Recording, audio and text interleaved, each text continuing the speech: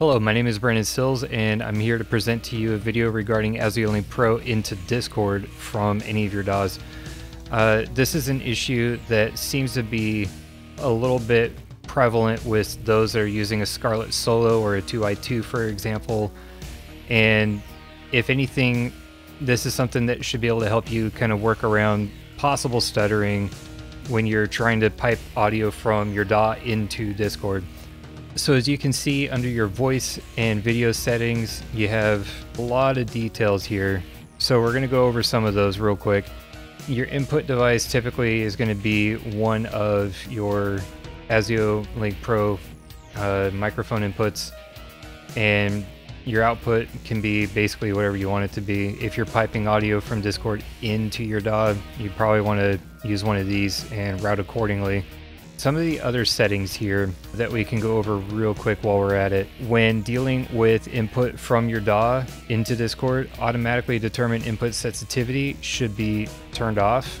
Further down, noise suppression for the advanced part should be turned off. We're not using Krisp or any of that stuff for this purpose.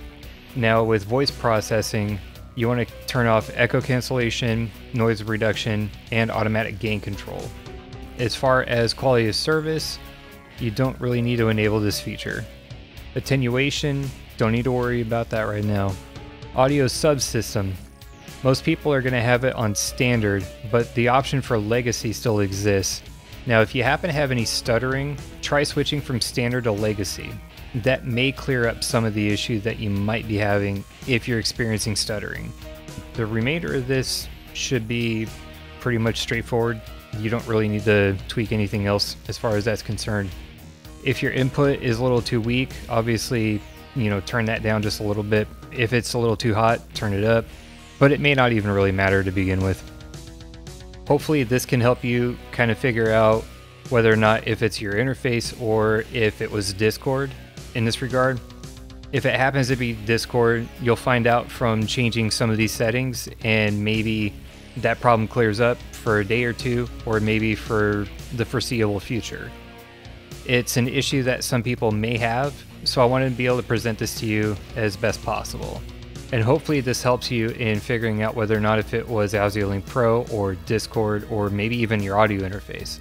It's not really a common thing for a lot of people to have issues when piping audio from their DAW into Twitch or YouTube or Facebook using OBS Studio or Streamlabs OBS, but this issue can happen. And if you're experiencing it, I hope this video does help you out in getting a better understanding of this.